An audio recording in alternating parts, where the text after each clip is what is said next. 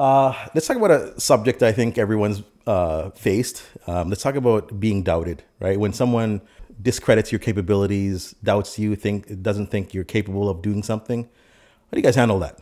It depends on the scenario. Depends on the like environment that I'm in. If it's at work, or if it's like, I don't know, a, social setting, or uh, like my mind goes straight to team sports because I'm, I'm like horrified to to play soccer on a team. So that's my own um, doubting. But I usually, and I feel like I already did it, um, resort to some sort of humor or like satire and, and like self mockery um, when it's not like self deprecating and it's not like damaging to myself. So let's use an example of something you think you're good at, like your job. Uh, say you're, you know, you're good at art. You think you're good, but someone says, "No, you're not good enough." How do you handle that? When there's something that you believe you're good at, you're, you, you know, you've done a good job. Right. You think you're doing a good job, but your manager comes and tells you that, mm, I don't know, we're gonna go with someone else instead. Um, I th- like that happens constantly as well. I like people don't know you as well as you know yourself, so it's just a matter of you taking every I'm with okay, feedback is important, but take it with a grain of salt. It might just be that you're in the wrong you're on the wrong team or you know they're they're analyzing the wrong skill set that you th- thought you were going to bring to the team.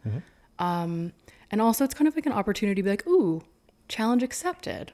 Like, I'm going to dive in and show you what I can do and, pr- and maybe prove you wrong um, to a certain extent.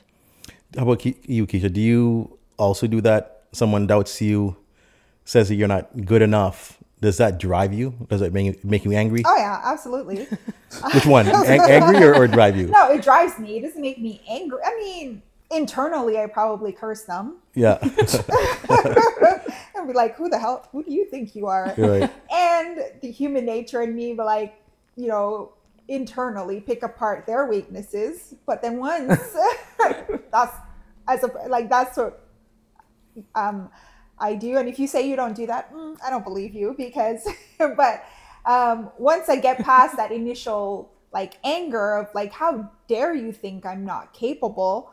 Um, then it turns into I am going to prove you wrong, and I will get satisfaction out of showing you that while you doubted me, I am capable of whatever it is you said. What happens when, when, when you've proven to them that, hey, I belong or I, I did a good job, Uh-huh. but they discredit you again and then they, they don't value your, you know, what you came out with? Um, but then at that point, I, I guess it depends on who it is, because if it's somebody who's like my manager and I report to them, or you know my manager's manager, and they have influence in whether I get a promotion or a raise, um, then I will I will try again to kind of win them over because sometimes it could just be a personality thing. It could be that maybe we just don't gel well together, and so I will try to uh, readjust how I interact with them and pay attention to the way they like to maybe receive information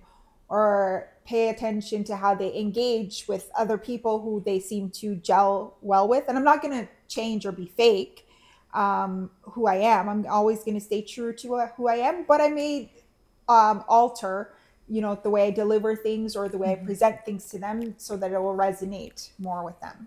Have you faced this, Sabir, in your life? Oh yeah, and immediate reaction, I would say, yes, it bothers me. Right after, like, okay, what are you talking about? And how you process that thing, there are two ways to do it. One, you react immediately, which you should not. Mm-hmm. And I learned that over the years. Okay, you know what, my reaction should not be impulse reaction, like Right. right, away. Something has been said that I'm capable. I know I'm capable of, but being challenged, and then you try to process it, and then you come back around all the point that you said, Risha, that yeah, prove yourself, come back up again. And if you're being doubted again, again, who is doubting? It matters. Are you in the wrong place? Are you in the wrong team? And uh, come back around. And uh, sometimes, not to that particular point, they're doubting, try to show them the other capabilities, other activities that you have done with- with a proven track record that you have. That probably would help. And if that doesn't work, then obviously there is a personality conflict, if I may, that is at play here. So what happen, what happens if, for example, your uh, boss doubts you and you know, has it ever made you want to quit, leave the job because you felt that, hey, I've put in all this time and energy into this company. I've worked long hours. I've worked, Yeah. uh, you know, I, I've done, you know, beyond the call of duty, and they don't appreciate it. Has has that ever happened to any of you guys where you at least either you've quit or you know really really thought long and hard about quitting? Yeah, I the thought of quitting do come in mind, and the thing is that that's your impulsive reaction. And question is, is it repetitive happening over and over? That's when you know that okay, you're not at the right place, and that decision is that okay, I want to quit because it's not fitting well. It, thinking a big picture is important, not just that moment exactly what happened or what capability is questioned. Big picture that if it doesn't fit, then I think it's it's taking it with a grain of salt and thinking it over, and so that you make more informed and educated decision, and just not just a hot-headed. Okay, I'm walking out. You guys ever uh, go into like you know what I'm gonna show like not I'm gonna show them I'm just gonna leave and let them feel you know how how it is without me. Have you guys ever done that or felt that? when I was when I was younger, yeah, and I have left organizations not on impulse. Like I've never been like I quit. Right. I've never done that. Don't you? I want to do that. though. to, though. I, I want to do that like wish. 50 times. like, Oh, yeah. to like, Just you know to what? have the I quit. experience. Just We all have that moment, right? but like you know if after I, and i've done if after like you know a couple years where i feel like i'm getting mixed messages where i'll get a, a good performance review but when it comes time for a promotion i feel like if i'm passed over 'cause- and sometimes it could be they, they like the fact that i'm doing the job that i'm doing so well and they they want to keep me in that position so you you have to look at all the factors but i have um um, resigned and thinking, oh, when I was younger, yes, um, they're going to to miss me. And yeah, you know, once I got into management, my team misses me. Like the last job I had before this one, um, after I resigned, um, they created a WhatsApp group. And they call it the Key Hive because I'm a big Beyonce fan. and so they're messaging me like they message me all the time. I know what's going on in their life. They'll message me for career advice. They'll message me because you know just to see how I'm doing.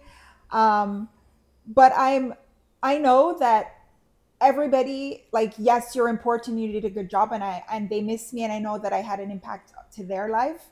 But I know in the grand scheme of things, everyone is replaceable at an organization. So Right. when I was younger, I'd be like, "Oh, you're gonna think that you're gonna meet, you're gonna see." you leave and they get the next person on. and they they move on. Right. Mm-hmm. Alex, have you ever had a situation where, you know, you were doubted and you disagreed and it so happened that a hot, like a year later, a couple of years later, you realize that, you know what, they were right. Have you ever faced that situation? Oh, Pro- probably. Yeah. Have you ever admitted it? Have you gone back to uh, the person that doubted you and said, you know what, I, I thought about it. I, I disagreed with you at the beginning, but I, th- I think you're right. I um okay, my like my memory's shot. I would not be able to be like, oh yeah, two years ago I thought it would go this way, and I like banked on that, and I and I quit, and now I regret saying that. But I'm the first to admit if I've made a mistake. So like I have no shame in making mistakes because I like I I only learn from that. Sure. And when people kind of hide their mistakes, I uh, uh, that's kind of a little bit of a red flag for me. Sure. Um, I th- uh, I'm trying to think like a specific scenario, but I mean today I made a mistake, and I immediately was like, "Oh, boss, big boss, medium boss, like teammate, I up right now. Right. Like, can you? The, can the three of you jump on and help me? Mm-hmm. Uh, we'll still make our deadline." sure. So I think as long Sure. as you have like the confidence to admit That's when another- you like have faltered and then ask for help Right. or have some sort of action plan to to like right the wrong that's usually when you find some sort of success Yeah, I think I think is a, a very important factor. If someone, you know, when you when you make a mistake, you need to own up to it. I see that often. Maybe another topic for another podcast, but um, that is a, as you said, is a red flag of mine. When so, someone constantly, you know, hides their mistake or you know never admits when they're mis- they make a mistake, and it's hard to work with that person when when they keep uh, denying it. Yeah. Um, it's so much easier just to admit it and just move on. Um, I think people forgive. They might be grumpy for uh, 20 minutes or 10 minutes, but after that, okay, whatever. What they're, but when, when you're denying it, all their energy is like, I'm going to prove that you're, you know, you, you made a mistake. And they spend all this time and energy and it's a cat and mouse game and your credibility goes, right? Eventually you're going to get caught and it doesn't end well. So I think you're absolutely right. Admit the mistake. I also think there is a benefit.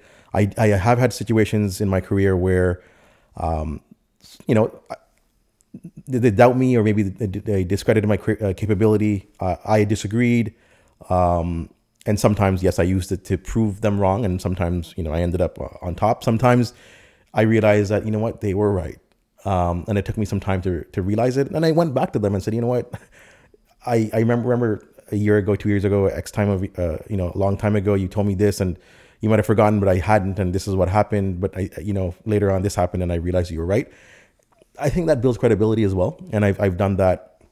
Um, obviously, you want to be right more often than wrong, but I think there's always uh, situations where you could take it for a positive. I think most times, most managers are are pretty genuine in terms of the feedback. They're not, you know, might seem like they're, you know, there's a conspiracy against you, but often it's not. It's probably your imagination or or as Patrick said in one of the previous podcasts, like I forgot the Dunn Kruger effect or something, where you might not know all, all that exists. You might only know the, the area that you already you only know, and when someone else knows the full picture or more of the picture, they're giving you feedback. It could be for the better. Mm-hmm. So I think it works in in all cases. Any final thoughts on this topic? Well, I, that actually that's kind of a good point because it's it's the perception of doubt. So like you're you're receiving this like vibe that they're doubting your ability, but you don't know what they're thinking and like they're thinking bigger picture maybe. I'm like mm-hmm. in this scenario this is the boss that's doubting you. Sure. they're connecting this specific project that like you want to do with the bigger picture of the company plan that they might not have presented to the team yet. Right. And they're they're like maybe they're not doubting your capability they're doubting the project and if it fits you know the game plan for the next two years. Right so, right. I mean, there's always those kind of factors you have to consider as well. It's, it might not be you at all. It might just be the fit with it, the company or the project or the team. Yeah, no, absolutely. And I think the first reaction is for us to think that okay, they're wrong. There's a conspiracy. They're they're doubting me. But I think ultimately, uh, I think most times you're right. I think yeah. it's it's uh, the bigger picture that you might not be seeing. So I think it's best to channel that for positive. Mm-hmm.